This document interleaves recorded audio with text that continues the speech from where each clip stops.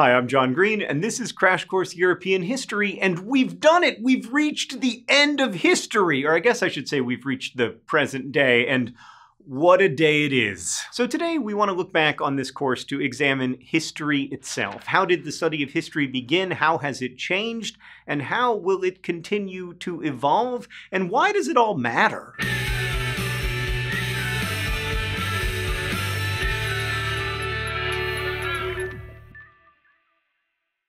So last time we mentioned a book by Nobel Prize winner Svetlana Alexievich called An Oral History, which shows a new-ish way of studying the past. New-ish because it depended on evidence of people's spoken words and on their memories instead of just written records. Alexievich valued memories, sad, opinionated, defiant, or nostalgic, as markers of what was historically important. For example, how did ordinary people react to events like the Chernobyl disaster or, say, Stalin's regime.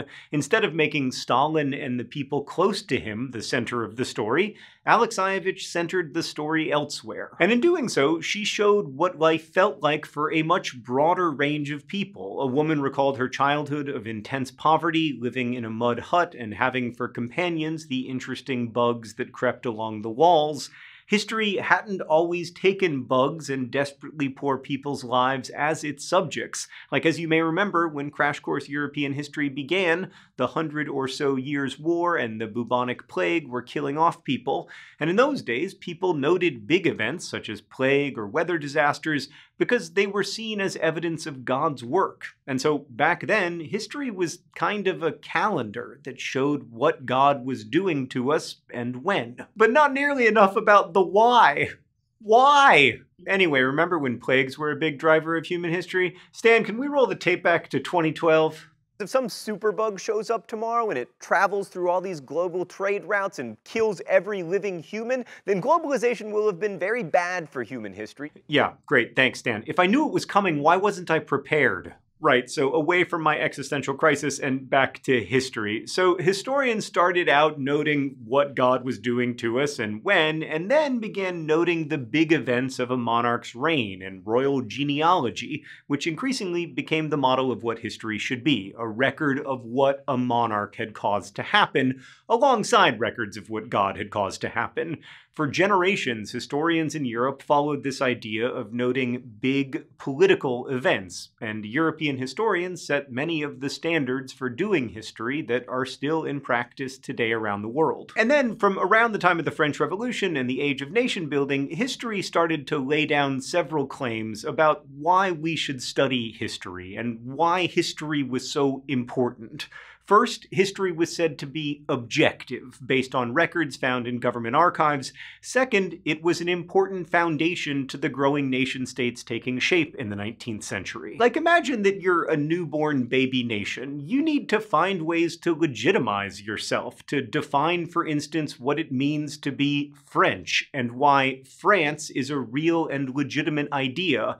And part of how nations did this was by studying, and in some ways creating, French history. The idea was that the nation state could be demonstrably truthful because it relied on official documents about how it came into being and how it replaced absolute monarchs, so instead of getting its authority solely from God, as absolute monarchies had, the state's authority would come from objective history, showing the factual historical ties that bound a people together. That's why in the United States, students study American history, and in France, students study French history. And alongside studying and legitimizing the nation state, historical teaching and writing became a profession, increasingly attached to universities and upholding strict standards of truth and objectivity. And these professional historians teaching in universities and doing research in government, church, or other archives devised the seminar method in which they presented documents for their students to decipher and debate and scrutinize so that those students could find the true and objective meaning about the workings of politics and government. The seminar method was most developed in Germany and took place in seminar rooms. You know, wood panels, fancy fireplaces, the rooms they put in the college brochures, and then you get to the actual college and it's just a bunch of cinder blocks. Professors sometimes even locked those rooms to keep out the public, especially women, who might be interested in history but weren't seen as worthy or capable of studying the grand formation of nations or the deeds of national leaders. And yet, all the while in the 19th century, there were amateur historians studying a range of quite different matters. They wrote about village customs, domestic life, and the work life of ordinary people like blacksmiths or shoemakers or farmers. In England, the Strickland sisters wrote hugely popular histories and much reprinted biographies of queens and princesses from the Middle Ages down to their own 19th century. And so at times it was amateurs working outside the university system who brought professional historians into the 20th century. But also, as industry developed and working class men and farmers and eventually women got the right to vote, history slowly came to understand that those people's lives were also noteworthy, and that in fact they were driving much historical change, not just through their votes, but also through their other choices, from how women spent money to what kinds of seeds farmers used in their fields. All right, let's go to the thought bubble. In 1897 in the United States, Lucy Maynard Salmon, a professor at Vassar College, wrote a history of domestic servants, and then histories of kitchens and cookbooks, and the historic sights a pedestrian might see in an ordinary town. She used newspapers as evidence. Some historians found her work unworthy of her talents, as her first book had been a prize winning study of an important topic the appointing powers of the US presidents. To them, Salmon seemed to have fallen. That was because the history considered most important, which professors and teachers researched and taught, was about treaties and alliances and the much loved topic of warfare. But in this way of teaching history, much was being lost. War, for instance, wasn't only about generals and their planning. As Louis Morton, famed military historian at Dartmouth College, said to his graduate class, anyone can draw a battle plan and its execution, and on the spot he drew several on the blackboard that students suggested.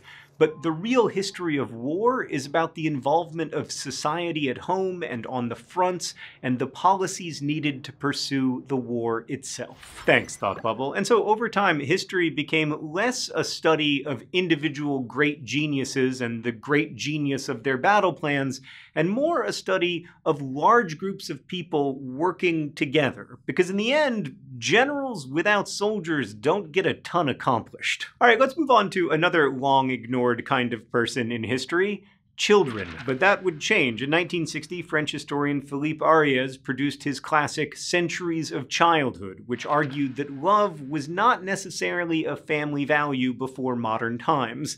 Much of Ariès's work is now refuted, but its emphasis on emotion and changing moral values and childhood was very significant. Meanwhile, notable English historians like E.P. Thompson and Eric Hobsbawm began writing about working class religion in 1963. And social and cultural history expanded in the US as well, where Eugene Genovese wrote Roll Jordan Roll, The World the Slaves Made, which recentered historical narratives about slavery. And in 1975, Amero-Canadian author Natalie Zemon Davis presented a picture of the Charivari, an event in which ordinary people turned the world upside down through social mockery, cross dressing, and obscenity. And German historians proceeded to make the study of everyday life not only into historical narratives, but also into a theory of history, complete with a magical German word to describe it Alltagsgeschichte. I'll remind you, by the way, that mispronouncing things, especially German things, is my thing. But in all these cases, we see history expanding beyond the battlefield or the deeds of the rich and powerful. Now, some might protest that history should be about the powerful, but even notions of power have changed. In older historical understandings, power involved the direct force of a king or other ruler on a person or group. Like, think about the command, off with his head. I mean, that's a real statement of power. If you can say the words off with his head and then someone's head is removed from their body, That's obviously power. But it's not the only kind of power, right? And in modern times, power is often seen as participatory and moving through society. And political power is often seen as participatory too, not just in the form of voting, but also public protest. We're not necessarily powerful in the way royalty once was, but instead, as part of a modern society, power flows through us as we act as citizens or soldiers or patients or skateboarders or shoppers or viewers or anything else. We each express our our power by participating in systems that in turn have power over us, whether that's systems of criminal justice or transportation systems. It's critical to understand, however, that the way those systems function and the way that power flows is uneven and unjust. I'm speaking to you amid a global disease pandemic that has reminded us that it's an expression of human power to leave the house and also an expression of human power to stay inside because how we interact with each other, and right now, whether we physically interact with each other, shapes the way we all end up living or indeed whether we all end up living. So, in this new understanding of power flowing through systems and individuals, power operates among everyone. And in order to understand the story of humans in the world, we need to look at more than just political and military leaders. We've also learned that we can't understand human history without understanding the forces that act on our history from the outside, whether that be microbes, the most underrated historical force of all time, or natural disasters. And the history of every community and every region has long been a global history because for centuries humans have been connected to globalized power systems in the obvious form of trade and empire and migration and warfare, but also in less obvious movements of world religions, cultures, diseases, foodways, and communication systems. So studying European history, for example, necessitates understanding the world because Europeans migrated and traded and fought and learned from and with people all over. For example, the history of France until recently appeared in books as the history of this hexagon, despite France's involvement with the rest of the world and despite the multi ethnic nature of the French nation. Now, historians are rewriting the history of France to include its colonies and its colonial past. They're also rewriting the histories of World War I and World War II to give more attention to the horrific facts of those wars' eastern fronts and to the experiences of colonial troops. We call this process revisionism, as new facts are pointed out through research and as historians become aware that they have ignored certain truths, they revise the narrative of the past, making revision a crucial part of achieving historical accuracy. Now, it's worth noting that some people provide historical that do not accord with the facts. For example, the belief that Lenin was a sweetheart and then Stalin came along and ruined everything. Constructing Lenin as some kind of idealistic pacifist just goes against historical facts. But humans are sometimes committed less to evidence than to ideology. For example, they may want to hold up the idea of the good in Bolshevik communism. That ideology, that Bolshevik communism was good, then creates the belief that Stalin's murderous regime perverted Lenin's wholesome communism.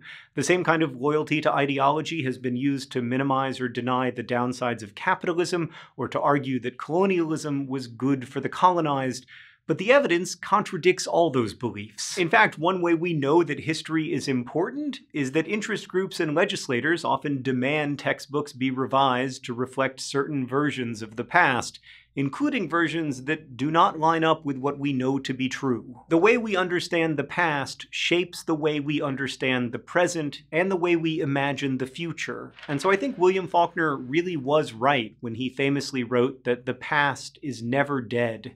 It's not even past. Current historical practice seeks to acknowledge the power of ideology and partisanship, as well as the bias that exists in official documents, and so instead, current historians try to rely on multiple evidentiary sources to ascertain truth, what actually happened, as Leopold von Ranke described history's goal. And so for current historians, and for all students of history, evidence, truthfulness, and mindfulness of bias in our own writing and research research mirror the most important values of lawful societies in our age. One thing we try to remember around here thinking you lack bias is one sure sign that you not only have it, but that you aren't aware that you have it. So paradoxically, the quest for factual truth must exist alongside the recognition of the inescapability of bias. As we've discussed throughout this series, so much depends on individual perspective. History can't eliminate those biases and it can't achieve some kind of factual perfection, but it can improve our understanding of the human endeavor by helping us to shift and expand our perspectives. So history is always a work in progress. Thank you for being here with us and for learning with us here in the middle of history. Our crash course in European history has been filmed in the Jaden Smith Studios here in Indianapolis. Huge thanks to this series' writer, Bonnie Smith, and curriculum consultant, Kathy Keller. Meredith Danko is our editorial director. Zuleha Razak and Nikki Hua supervise the script. Stan Muller shoots and edits the show. The amazing team at Thought Cafe makes the animations. Thanks especially to Cody Brown. And thanks to all of you for being here with us and learning with us. As they say in my hometown, don't forget to be awesome.